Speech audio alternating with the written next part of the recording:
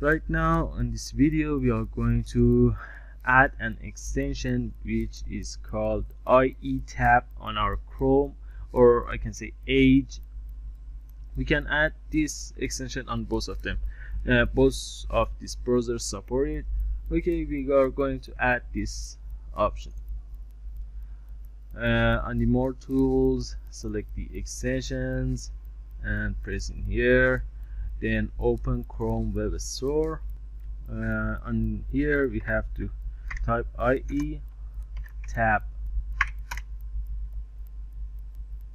this is uh, in here you can see and find out which of these extensions are better. Uh, it has 21,000 votes and the point of that is 4.3 is best and the votes or I can say the install of that are less than it so I install IE tab. When I press add to Chrome then press add extension. It will add this on my Chrome automatically. I have to wait. Okay it added to my Chrome. I press this. And if you wanted to see it you have to for example be or in a new tab we press on the extension button then you can click on the ID IE tab or you can press on it then pin it and select it from here. That's good. Okay when you open it it will say I wanted to download and act and file. Then it's the download. Finished you have to press on it. Then press on the run you can see uh, this extension create an internet explorer on my chrome. That's good. For example we wanted to for example search something. For example I wanted to search my channel.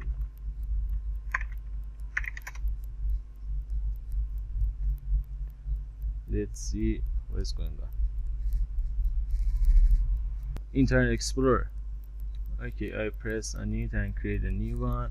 It has setting option. When you click on it wait until uh, okay. On the setting options you can choose different things. For example uh, internet explorer version 7 8 version 11 and you can choose each version that you want or I can say on the advanced mode forward Chrome cookies to IE tab enable. The checking options or I can say enable new pointer mode. On the display a high IE tab address bar show for example the status text and RSC when you enable and disable you will see the uh, or I can say RSC on the auto URL enable auto URL or never open auto URL ex exceptions in IE tab or ISC uh, sharing between tabs. Enable sessions sharing with tabs uh, it use Bing but I don't want to use it. Auto URL extensions auto URL we don't support Bing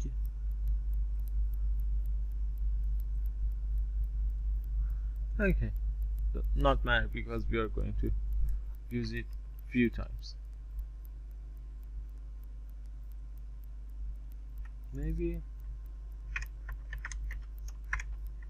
let me no I can't. Okay just it use me. It's good for us. Because for example this is the search as you can see it has lots of lags and it is the internet explorer.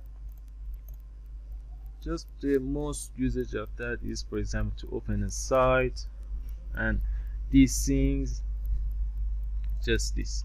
Or I can say for example we have a DVR and